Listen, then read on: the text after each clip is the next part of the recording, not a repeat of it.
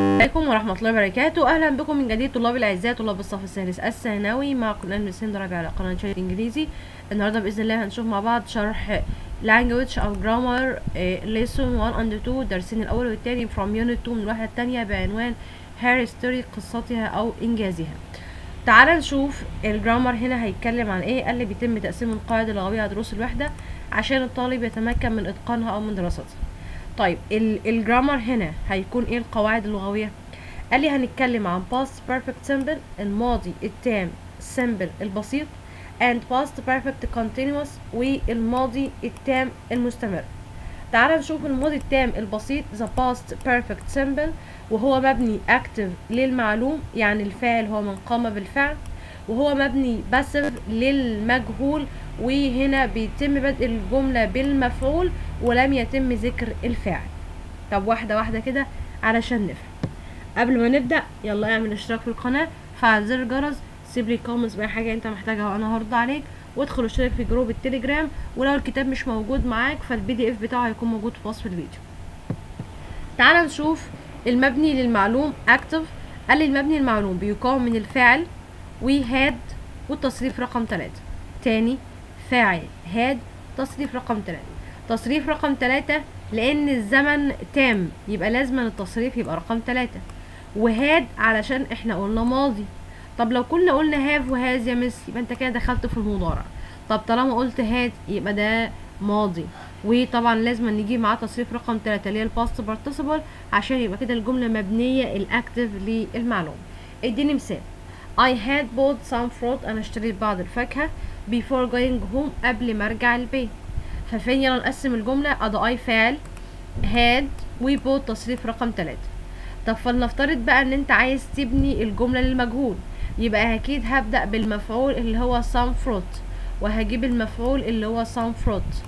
وبعد كده هجيب هاد بس لازم تجيب لي مصطلح اسمه بين عشان أقولك إن الفاكهة أشتريت إن القرى لعبت. إن الطعام جهز أو أعد يبقى لازم أجيب بين عشان أعرفك إن الجملة مبنية للمجهول. لو أنت جيت جربت كده وحذفت بين من الجملة هتلاقي الجملة مكونة من هاد والتصريف رقم تلاتة فتل... فتلاقيك تلقائي طلعت فين؟ في الجملة المبنية للمعلوم. طب إزاي يا مس وهي أساسا الجملة بادئة بالمفعول اللي هو صام فروت بعض الفاكهة. ف some fruit بعض الفاكهة هنقول had وبعد كده been والتصريف رقم إيه والتصريف رقم تلاتة اللي هو bought. يبقى some fruit had been bought بعض الفاكهة اشتريت. يا تقول by me يا ما تحطهاش. before going home قبل ما ارجع البيت. يبقى تاني مبني للمعلوم فاعل و had والتصريف رقم تلاتة. لكن مبني للمجهول مفعول و had been والتصريف رقم تلاتة. طب كمل معايا. قال لي إمتى بقى بستخدم الزمن ده؟ اللي هو زمن الماضي التام. زمن الماضي التام عشان نكون متفقين مع بعض لازم يكون عند عندك حدثين. حدث أول وحدث تاني والحدث الأول ده هيبقى ماضي تام. لكن الحدث التاني ده هيبقى ماضي بسيط. ولو جينا نسأل الحدثين إيه اللي حصل فيكم الأول؟ هيبقى الماضي التام. وإيه اللي ترتب عليه أو إيه اللي تم بعده؟ يبقى ده ماضي بسيط. يبقى الحدث الأول ماضي تام. الحدث التاني ماضي بسيط. طب إمتى بستخدم الزمن ده؟ قال لي عشان تعبر عن الحدث أو تعبر عن حدث الحدث ده تم قبل وقت محدد في الماضي. يعني الوقت المحدد في الماضي ده البسيط. واللي تم قبله ده المين ده التام. وفي الحالة دي بنستخدم تعبيرات زي by بحلول before قبل this time في مثل هذا الوقت. والتلات كلمات دول بيجي بعدهم وقت محدد في الماضي. يعني by 11 o'clock الساعة 11 امبارح. إيه اللي حصل؟ The security security had sent three emails بعت تلات إيميلات. يبقى اذا هنا by بحلول. وجي بعدها مدة زمنية ماضية الساعة 11 امبارح. وإيه اللي تم؟ إيه اللي حصل؟ السكرتارية ودا هاد سنت الماضي التام يبقى ال- الحدث الأول وأدى الحدث التاني. كده افهم ان بحلول الساعة 12 11 كانت السكرتيرة بالفعل بعتت تلات ايميلات. طب الحدث رقم اتنين أو التعبير رقم اتنين بيعبر عن حدث تم قبل حدث آخر في الماضي. يعني الحدث الاولاني ده ماضي تام والحدث التاني ده ماضي بسيط. الاولاني ماضي تام التاني ماضي بسيط. المثال بيقول لي she had done the housework she had done the housework before she went to the bed قبل ما تروح للسرير. يبقى الحدث الأول ده ماضي تام الحدث التاني ده ماضي بسيط. ويمكن استخدام since و for و just و already مع الماضي الإيه؟ مع الماضي التام. فالمثال بيقول I was sorry أنا كنت آسف. When the company closed لما الشركة أو I was sorry كنت حزين. لما الشركة اتقفلت. I had worked three th- أو I had worked there. أنا كنت بشتغل هناك since my graduation منذ تخرجي. إيه اللي حصل؟ الأول الماضي التام اللي هو كان بيشتغل هناك منذ تخرجه. إيه اللي حدث تاني؟ إيه اللي اترتب عليه؟ هو حزين لأن ال- ال- الشركة قفلت. طب فين هنا؟ قال لي since و for و just و already. بتوع المضارع التام ممكن أستخدمهم مع الماضي التام وهنا أقول أنا كنت حزين لما الشركة اتقفلت. I had worked there ده أنا شغال هناك من منذ تخرجي. طب المثال اللي بعده بيقول لي I had already studied English. أنا بالفعل درست إنجليزي before I traveled to قبل ما أسافر إسكتلندا. طب إيه اللي حصل الأول؟ هو درس إنجليزي. إيه اللي ترتب عليه؟ أو إيه اللي حدث تم بعده؟ إن هو سافر إسكتلندا. يبقى ده ماضي تام. Had already والتصريف الثالث وماضي بسيط اللي هو التصريف رقم اتنين للفعل. كده أنا خدت التكوين والاستخدامات. بيجيب لي mini test بسيط علشان أقول بحدود 1990 يبقى هنا هاد done طب الجملة مبنية للمفعول المجهول يبقى هبدأ بالمفعول يبقى been done آه when I لما أنا شفت مستر أيمن في لندن العام الماضي كان عايش هناك بقاله ثلاث سنين هو يبقى had lived طيب آه أحمد was angry كان غضبان لأن سما إيه his tablet had broken كسرت التابلت بتاعه. لازم أشوف كلمة ولما أشوف الكلمة أعرف إن ده ماضي تام. عندي بعض الكلمات اللي بتدل إن ده ماضي تام ومجرد ما أشوفها في الجملة أعرف إن أنا بتكلم عن الماضي التام أو واللي بيترتب عليه الماضي البسيط.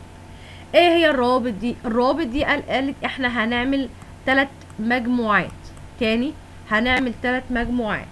أول مجموعة اللي هي before by the time when before by the time when ولو عايز ترجمتهم ترجمتهم موجودة قدامك. before قبل by the time في ذلك الوقت أو في الوقت الذي when عندما ثلاث مصطلحات.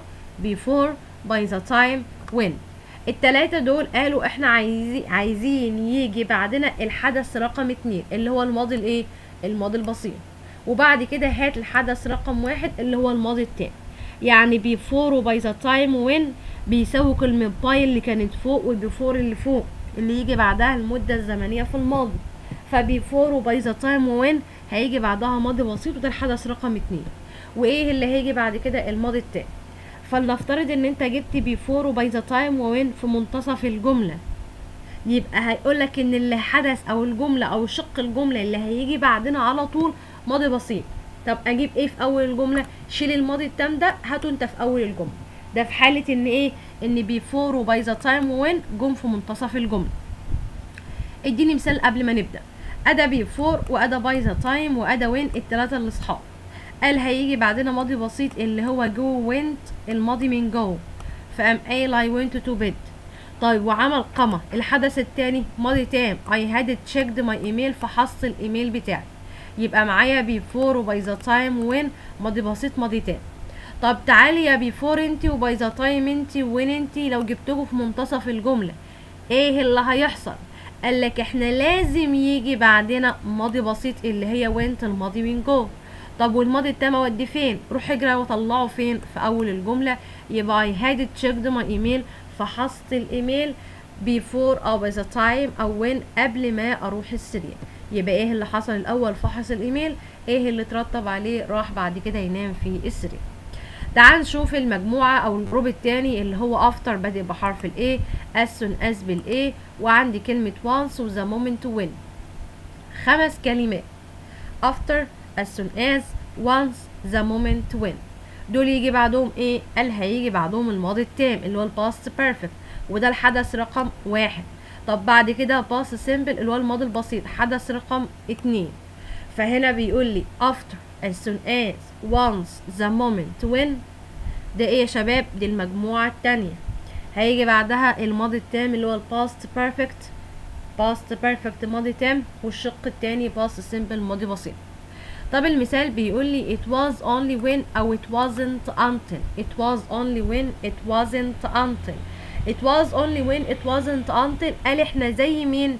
إحنا زي after و as soon as يجي بعدنا ماضي تام بس إحنا بقينا جم يعني بقينا جروب لوحدنا لأن إحنا عايزين قبل ما تجيب الماضي البسيط تجيب معايا كلمة اسمها ذات تاني عندي مصطلحين. واحد اسمه it was only when والتاني اسمه it wasn't until. مالكوا يا مصطلحين؟ قال إحنا زي after و as soon as في إن هيجي بعدنا ماضي تام اللي هو الحدث رقم واحد. أمال الاختلاف فين؟ الاختلاف إنك لما تيجي تجيب الماضي البسيط لو سمحت هات معانا كلمة اسمها ذات قبل جملة الماضي البسيط. طب تعالى بقى واحدة واحدة كده نشوف الأمثلة. تعالى نشوف المثال بتاع after و as soon as once و the moment when. جه بعدهم had checked أدى الماضي التام والشق التاني بقى ماضي إيه؟ بقى ماضي بسيط. طب تعالي after أنتوا as soon as و once و the moment when. لو جبناكوا في المنتصف هيجي بعدكوا إيه؟ إحنا زي ما إحنا. بعدنا إيه؟ الماضي التام. طب والشق الأولاني بتاعه بماضي بسيط ده هاته في أول الجملة. فالجملة تقول I went to bed أنا رحت للسرير. After بعد as soon as once the moment when I had checked my email فحص الإيميل. يبقى هو هنا ما راحش للسرير إلا لما فحص الإيه؟ الإيميل. المثال اللي بعده اللي هو it was only when أو it wasn't until جه بعدها ده ماضي تام had checked. بس قبل ما تجيب الماضي البسيط معلش يعني هات قبلنا كلمة اسمها ذات؟ يبقى ذات وبعد كده الماضي البسيط.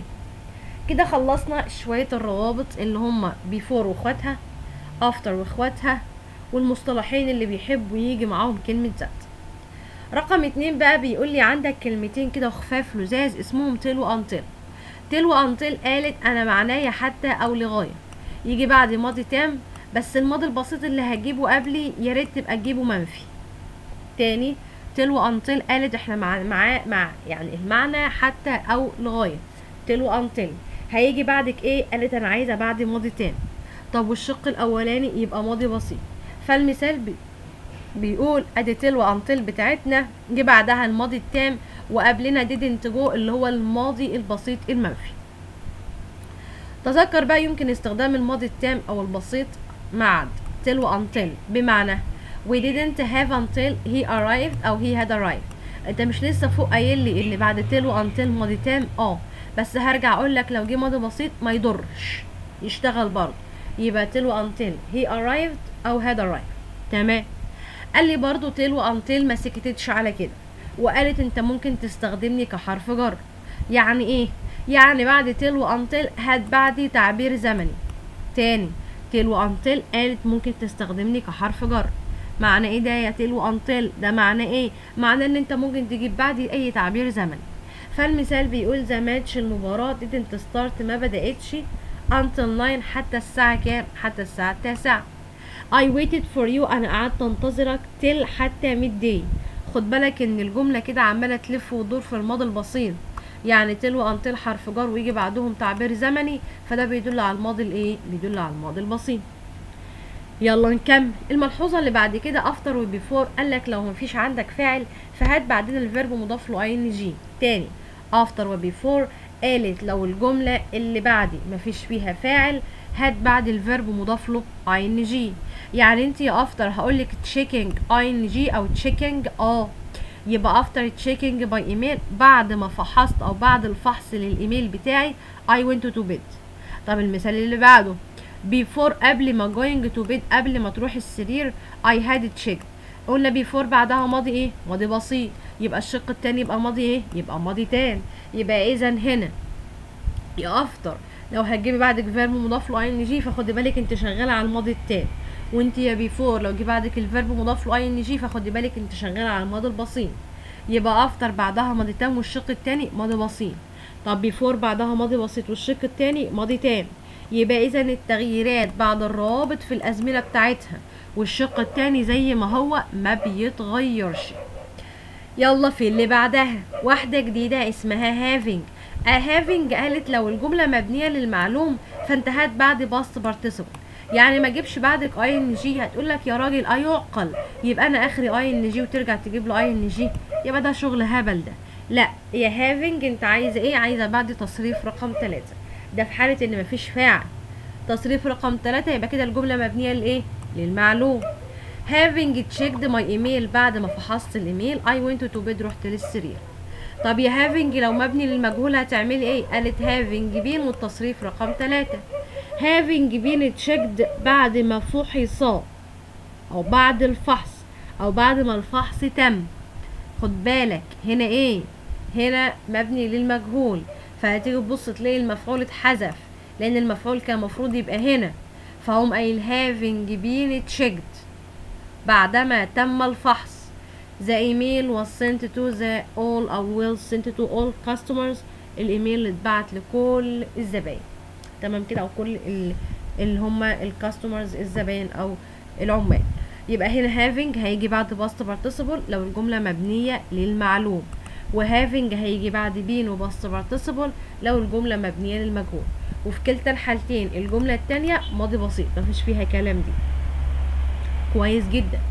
طب بيقول لي بقى في تركيبة في نهاية ال ال ال الصفحة بتقول لك by و before و the time عايزة أقول لك النقطة دي إحنا خدناها في أول الكلام أول ما اتكلمت by و before و the time أو this time أنتوا عايزين إيه؟ عايزين يجي بعدنا ظرف زمان ماضي. يعني يا by أجيب لك 2013 وسنة عدت آه. وانت يا before برضو ظر- ظرف زمني ماضي مثلا الساعة 5 امبارح آه. وانت يا this time نفس الكلام آه وفي الحالة دي هنجيب ماضي تام. طب هتيجي تقول لي طب ما ده يا miss أول استخدام في استخدامات الماضي التام إن يجي by أو before أو this time وبعدها ظرف زمني في يدل على الماضي يبقى الشق التاني ماضي تام. أدي تركيب. رقم خمسة رقم ستة بيقول لي إيه؟ بيقول لي بقى ركز لي على حتة no sooner وحتة hardly و scarcely أنا عندي لو استخدامات الماضي التام مع ظروف معناها لم يكن حتى. بمعنى no sooner than. طب وإنت يا hardly أو scarcely يبقى when؟ no sooner than. hardly أو scarcely when؟ قالت no sooner قالت أنا هيجي فين؟ أنا هاجي أقسم التركيبة نصين وتحطني. وقبل ما تجيب الجملة التانية بالماضي البسيط حط لي than.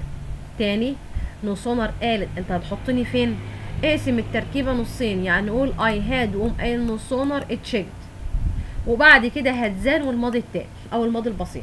تاني no sooner قالت اقسم التركيبة نصين وحطني. يعني قول لي I had no sooner checked my email. واكتب كلمة than حتى. I went to bed.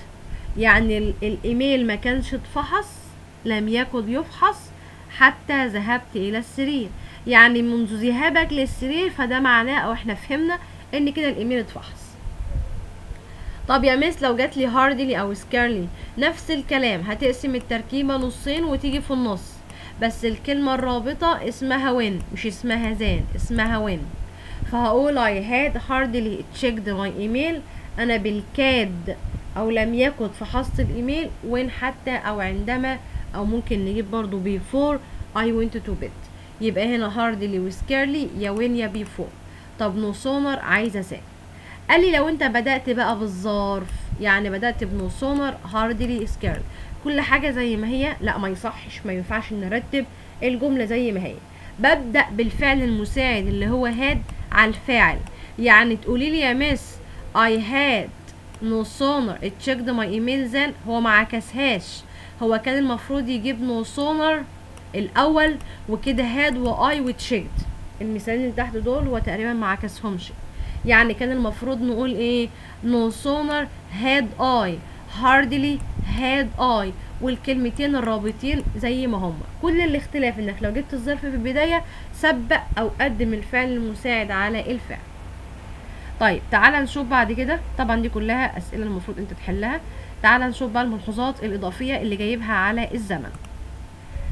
هنا بيقول يا شباب لو انت عندك not until مش until بس و not since و only after و only when و only دول مالهم؟ قال دول لو جم في بداية الجملة يتقدم الفعل المساعد أو الناقص على الفعل في الجملة الأساسية أو الجملة الرئيسية. بمعنى إيه؟ يعني not until I had checked my email بس كده لحد كده تمام. تعالى بقى على الجملة الرئيسية أو الجملة الأساسية اللي هي I went to bed آه هي دي الجملة بتاعتنا نخليها آه نقدم الفعل المساعد فالجملة ماضي فالفعل المساعد بتاعها هيكون did وقوم قايل did وآي ومصدر الفعل. يبقى not until وتبدأ الجملة بتاعتك جملة الماضي التام وتعالى في الجملة الأساسية اللي هي الماضي البسيط وابدأ بالفعل المساعد اللي هو did I وبعد كده أو did فاعل ومصدر الفعل. الملحوظة رقم اتنين. قال لي لو أنت عندك رابط زمني زي after وجي بعده ماضي تام had done. والشق التاني ماضي بسيط. ماله بقى قال لي هي هياها لو انت جبت having بس having بيجي بعدها زي ما إحنا متفقين تصريف الرقم تلاتة. و past simple اللي هي stopped زي ما هي. قال لي هي هياها لو جبت الفعل الأساسي اللي هو كان أساسا تصريف تلاتة ده وجبته المصدر وحطيت له ing وكملت بقية الجملة. يبقى doing the shopping طب أفهم من كده إيه يا مس واحدة واحدة. في صيغة المبني للمعلوم.